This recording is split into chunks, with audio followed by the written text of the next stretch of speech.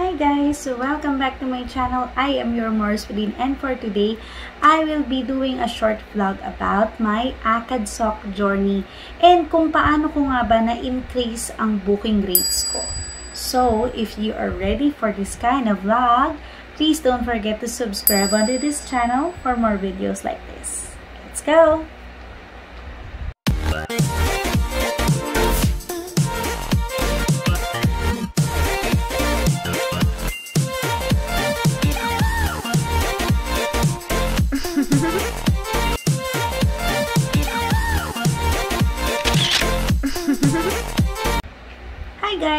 So welcome back to my channel. I am your Morspelin and for today, I would be just doing a short vlog about how I increase my bookings sa ACADSOC. Okay. So first and foremost, um, I am working with ACADSOC for 3 weeks already. Actually, ito yung third week ko.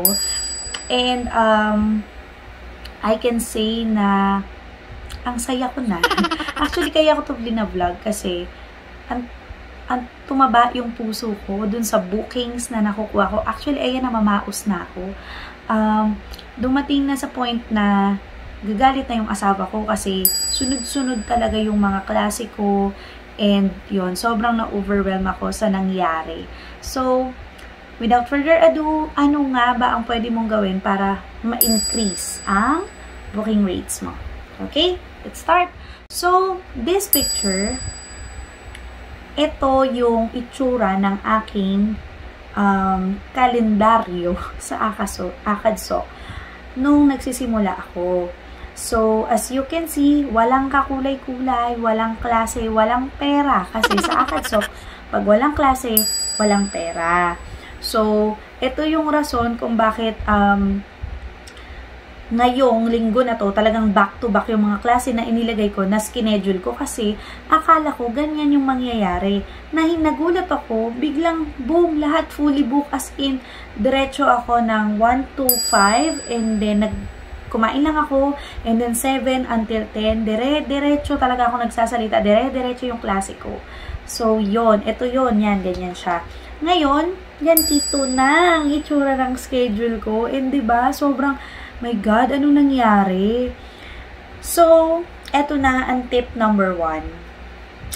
Tip number one, makinig sa TM mo at kung posible, makipag-BFF ka sa kanya. So, first time kung, nung first time kong na-meet itong TM ko na to, um, man, tutor manager at tao, para sila, kumbaga, sila yung boss mo.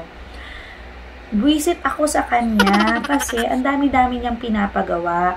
Yung mga kabatch ko, pwede na silang mag-class.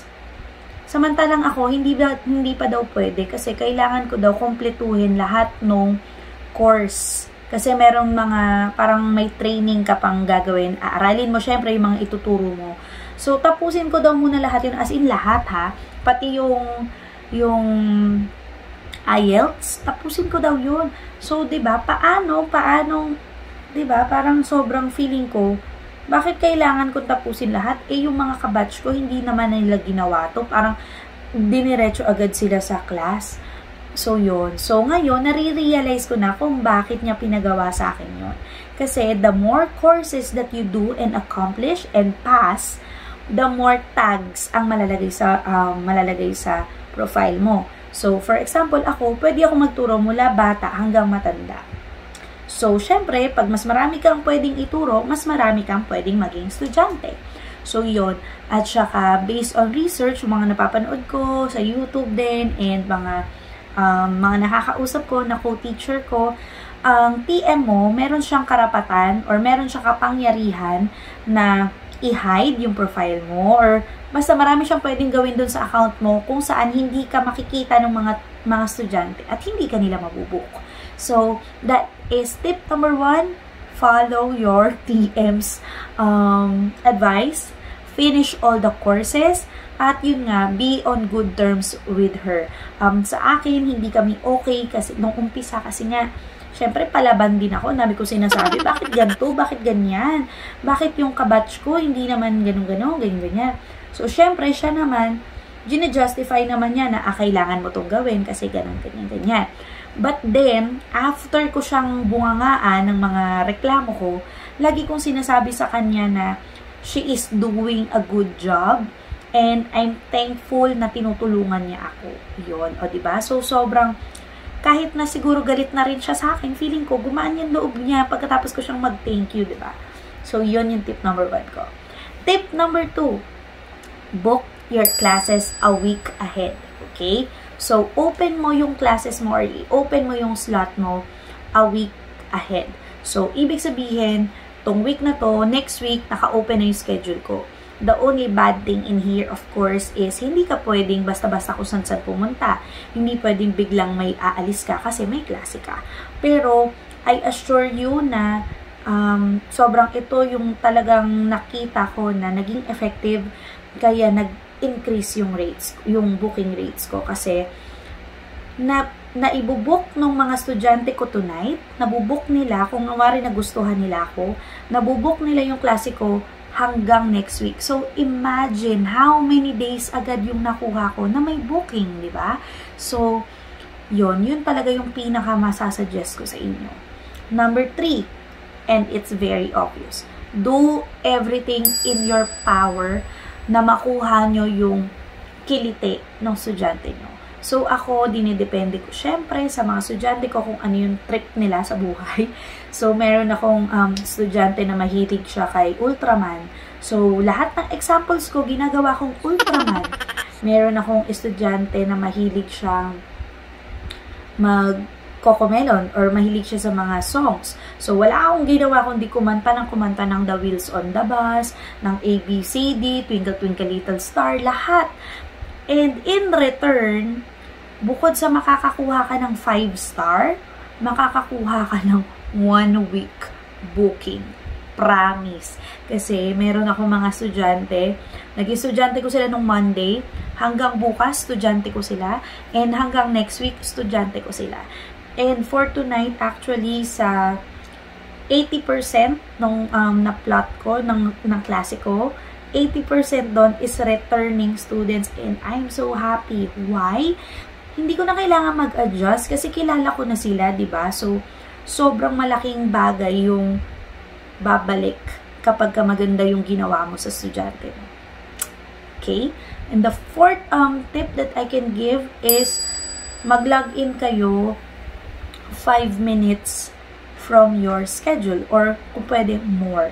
Bakit? Kasi makikita nyo agad yung uh, module na ituturo nyo, hindi kayo mukhang susunga-sunga, at saka mas confident kayo. Kaya nyong paikutin yung, yung module nyo. So, that's it. Um, wala naman na ata akong ginawang, ah, okay. Meron pa akong fifth, um, fifth tip, and that is to get materials like this. So that is, this is a magnetic board. And madami kang mabibiling ganito sa Shopee. Kung gusto mo, kung masipag ka, gusto mo magsariling gawa, pwede naman. Pero ako, kung ako sa inyo, bumili na lang kayo sa Shopee. Kasi ang mahal ng printer at ang mahal magpa-laminate. Pero this one, sobrang affordable naman. I will be putting the link in here.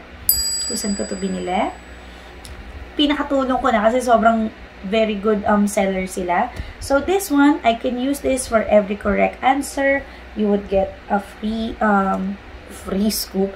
You would get a scoop and tingnan natin kung gaano kataas yung ice cream niya. All my students love this and I do have other um, things pa in here. Actually, ang dami niya. Ayan, ayan siya po. Ayan, ang dami niya.